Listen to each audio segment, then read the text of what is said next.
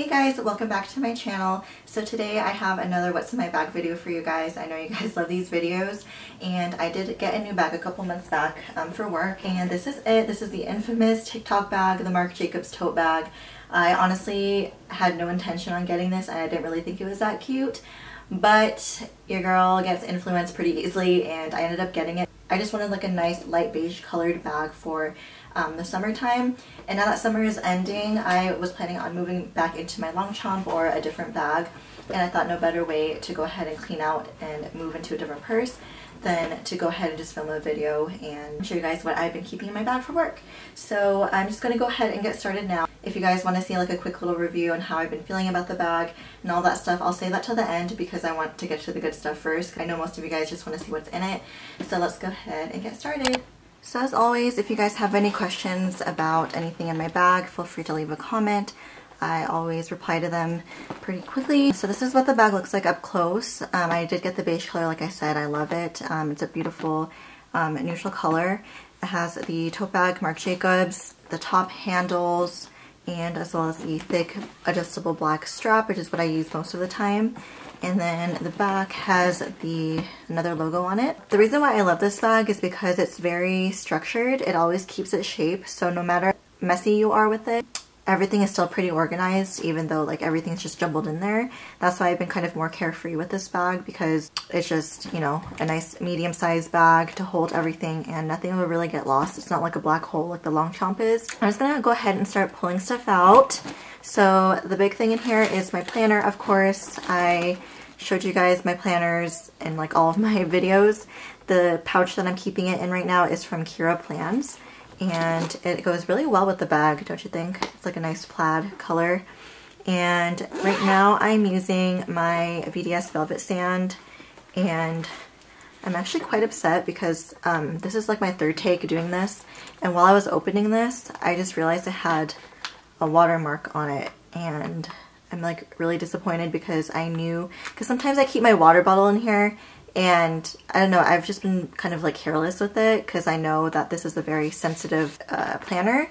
So if you guys have any recommendations on how to get rid of this, please let me know because I was so extremely sad when I found this that I had to stop filming and just process it, you know? But yeah, this is my planner. There's a hair on it.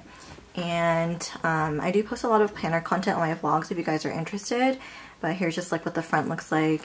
And um, I just love it. It's my baby. I keep my favorite pen in the pouch with it. This is the Pilot Juice .38. Along with my planner, I also keep my planner stickers with me. And I know this may seem kind of a little bit excessive, but um, I just love this system because it's pretty compact. To, and this is pretty much like majority of my stickers that I have for my planner. And I got this from Daiso. I think you're supposed to keep like, like receipts or something in it, but I went ahead and labeled all the dividers and um, they're all labeled with the different types of stickers that I have, icons and like scripts and stuff. And I just love the system and I just like having like all of my different options with me when I'm planning on the go. So that's why I have that. And then I have my toiletry pouch 19 which has been kept open and not zippered up lately because it's pretty stuffed. But I have my Fenty blotting uh, powder I have my Advil, of course. My coworkers always ask for Advil, so that's why I have it, and I'm always refilling it. And I have my, oops, my Shiseido uh, sunscreen. Love this stuff. And then I have some Bath & Body Works hand sanitizer. I have another one in here as well, because you can never have enough. My Laneige lip mask, a mini size a Sephora lip gloss. I don't even remember the last time I used this. I just keep it in case I need lip gloss, I suppose. And then um, my my current favorite perfume that I've been wearing for work, which is the Escada Cherry in Japan. It's a nice, subtle, fruity floral scent. I think it's limited edition, unfortunately, but um, I love it for work because it's not too overpowering. Um, Suave deodorant. I like never use this. I only keep it in my purse in case of an emergency if I ever forget to put deodorant on one day. Um, my Shiseido blotting sheets. That's what they look like. And then I have Poo-Pourri spray, of course. I never go to work without it. And I have a Tide to Go pen. Um, I do have some spoolies in here, which I don't even need anymore. I'm probably just going to toss these because I don't have lash extensions anymore. And then I do have some trash in here, so I apologize. I think this is just a receipt. Uh, this is a grocery list that I wrote during work, I think. Yeah. Um, I have a receipt. Let's see where I went this day. Looks like I went to Barnes & Noble and I bought two books. Um, I have my Kindle in here. This is my baby. If you guys didn't know, I'm a big, big reader. And if I don't have my Kindle in here, then I have my physical book of whatever I'm reading. This is a Kindle Paperwhite, and this is the back. It's kind of like the stickers kind of fell over a little bit, so that's why there's that blank spot there. But yeah, and I have my pop socket, of course, because it just makes holding it so much easier.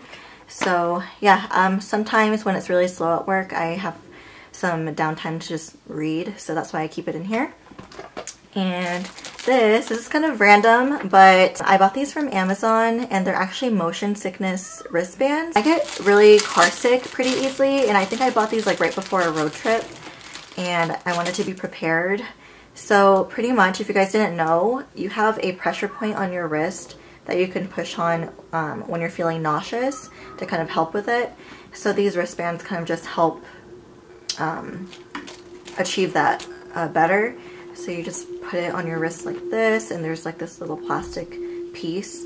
And then when you feel nauseous or you're starting to feel nauseous, you kind of just like press on it um, and hit that pressure point.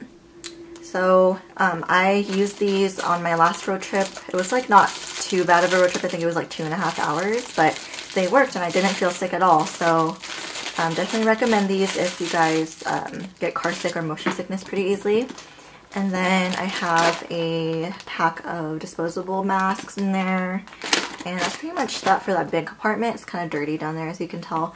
Um, but this bag has a bigger zippered pocket on the inside as well as two smaller pockets connected to it. So in this one, I have my keys, of course. This is my uh, key pouch. And I have pepper spray and all of my different uh, keys and stuff.